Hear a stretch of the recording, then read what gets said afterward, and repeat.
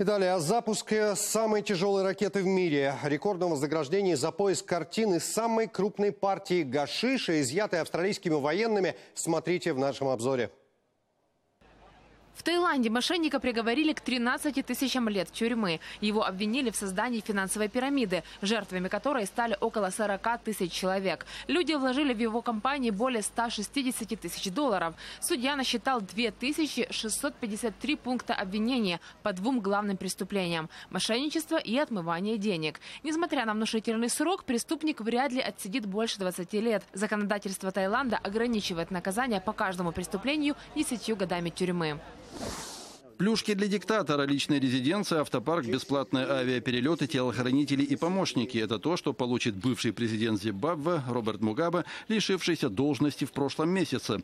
Также ему и его супруге обеспечат дипломатические паспорта, деньги на бензин и оплату коммунальных счетов. В целом компенсация за потерянную в ходе переворота власть для 93-летнего Мугаба составит 10 миллионов долларов.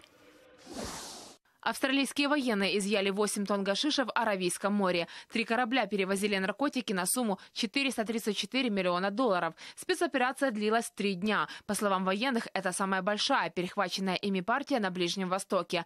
Какой стране принадлежат суда, они не говорят. Кроме этого, во время спецоперации военные конфисковали 69 тонн героина. Все изъятые наркотики военные выбросят в открытое море. Компания SpaceX готовит к тестовому запуску сверхтяжелую ракету Falcon Heavy. Космический аппарат установили на стартовой площадке в космическом центре имени Джона Кеннеди в штате Флорида. Falcon Heavy самая большая и самая тяжелая из космических ракет. Ранее ее старт неоднократно откладывали по разным причинам. Известно, что в качестве полезной нагрузки в космос отправится вишневый Tesla Roadster. Во время полета в автомобиле должна играть песня Дэвида Боуи «Space Oddity». Запуск ракеты запланирован на 18 января.